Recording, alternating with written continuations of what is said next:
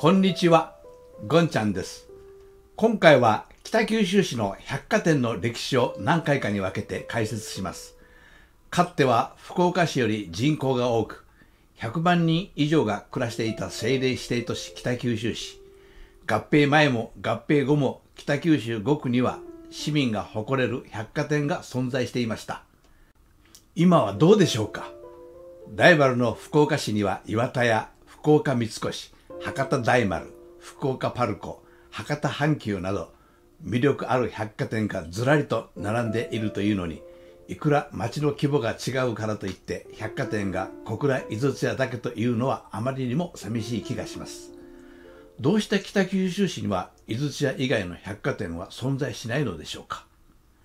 市民は井筒屋以外の百貨店を必要としていないのでしょうか？昔から井筒屋しかなかったわけではありません。北九州に初めての百貨店が登場した大正時代から現在に至るまでの間そこには実に華やかで非常に複雑な百貨店の歴史が存在しています。というわけで第1回は小倉に初めて誕生した兵庫屋百貨店の栄枯盛衰を解説し第2回以降はかつて存在した金安百貨店久喜デパート小倉玉屋丸菓子山城屋そごう小倉伊勢丹井筒屋が繰り広げた顧客争奪戦に迫り井筒屋以外ことごとく消え去った百貨店の歴史を取り上げ分かりやすく解説していく予定です。今日は帝劇明日は三越と流行語を生むほどに早々期の百貨店は日本中の庶民感情をしびれさせました。これまで見たことのない別世界が誘ういささかのブルジョワ趣味は気持ちを浮き立たせあまたの商品が夢を誘いました。日本のデパートの代名詞のようになった三越ができたのが明治37年1904年です。そして明治41年1908年には白木屋松屋松坂屋高島屋大丸といった老舗が一度に誕生していきました。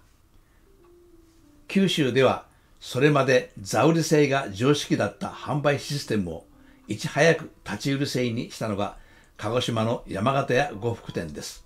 そして大正3年1914年デパートに転身しました。これが九州初の百貨店となりました。そして北九州の郡都だった小倉にも大正5年1916年使用金10万円の兵庫屋デパートが開店しました。開店初日に屋上から祝い餅をばらまくといった客寄せもしましたがデパート開店のニュースは興奮と興味で北九州港いや県民を沸かせました。木造レンガ建てわずか3階ですが今でこそ驚くに足りないけど新しいもの好きは世の常。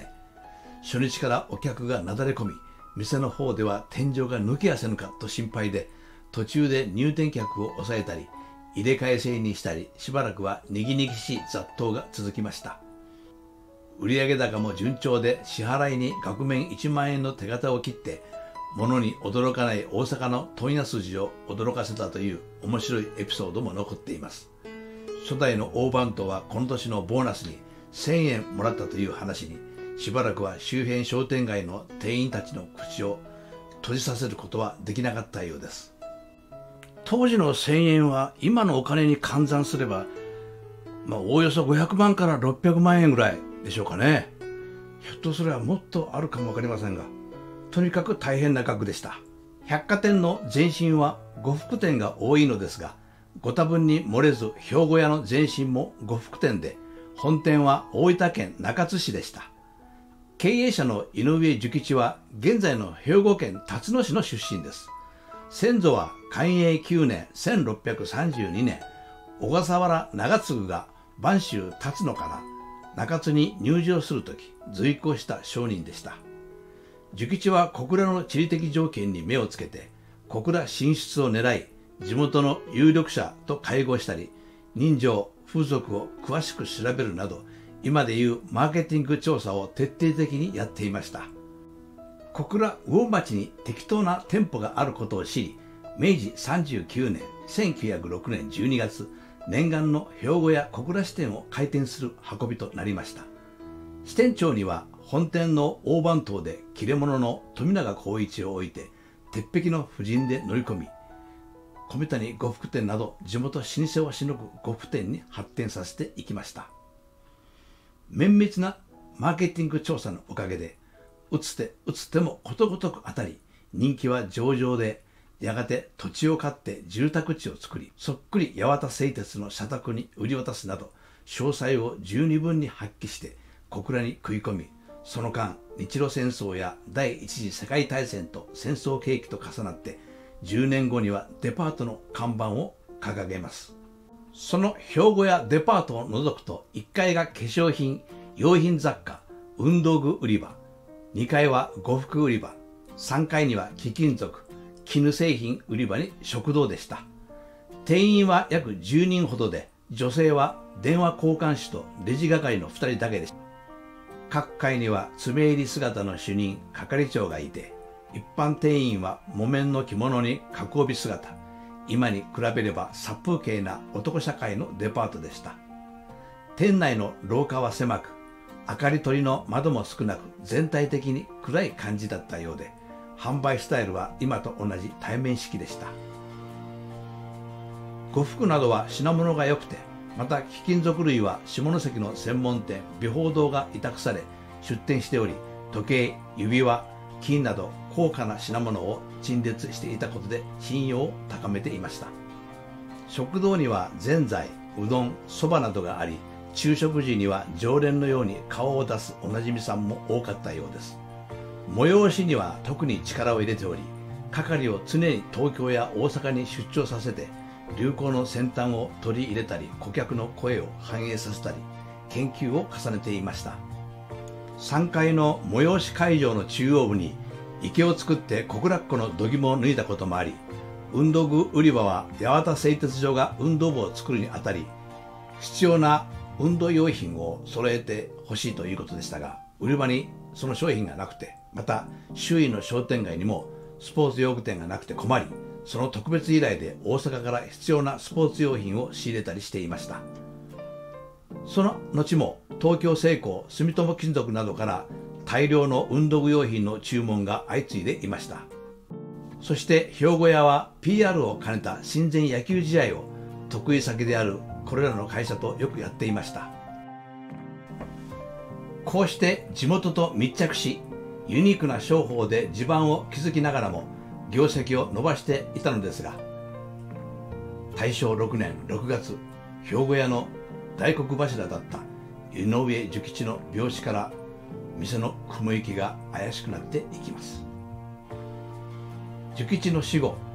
兵庫屋にはお家騒動が起こりました。事業を引き継いだ志津未亡人が寿吉の息のかかった富永小倉支店長らを突然解雇したのです。そしてこともあろうか未亡人の血縁者で経営陣を固めてしまったのです。まさに現代版大〇〇家具の様子です。富永支店長のもとこれまで働いてきた店員たちもこれには驚き100人の全店員の大半が富永支店長の解雇と同時に店を辞め